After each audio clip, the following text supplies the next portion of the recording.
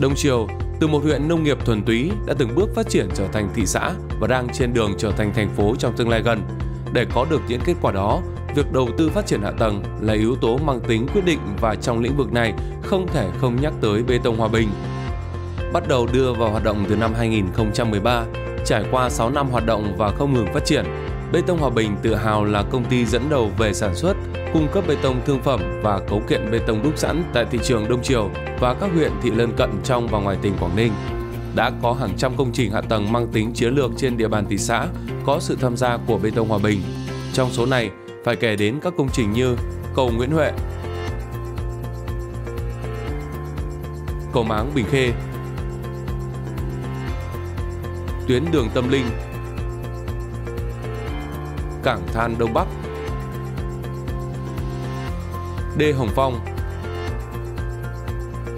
đường 345 đi Bắc Giang và rất nhiều công trình trọng điểm khác mà không thể kể hết ở đây. Song song với đó là hàng ngàn công trình dân dụng khác.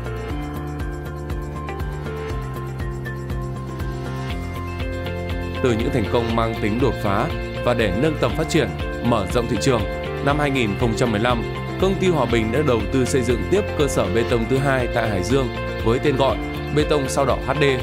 Và cũng như tại Đông Triều, Bê tông sao đỏ HD cũng là một địa chỉ tin cậy đối với khách hàng tại Hải Dương nói chung và thành phố Chi Linh nói riêng.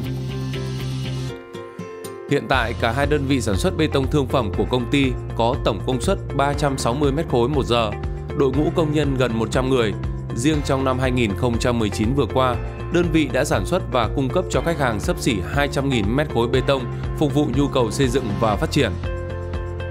Có thể nói, đến thời điểm hiện tại, Bê tông Hòa Bình đã khẳng định là đơn vị thành công trong sản xuất, kinh doanh nhờ có chiến lược đúng đắn, công nghệ tiên tiến, thiết bị hiện đại, đội ngũ cán bộ công nhân viên có trình độ, có chuyên môn và kinh nghiệm thực tế và đặc biệt là sản phẩm có chất lượng tốt, trách nhiệm cao. Đây là chiến lược tồn tại và phát triển của đơn vị cả trong hiện tại và tương lai.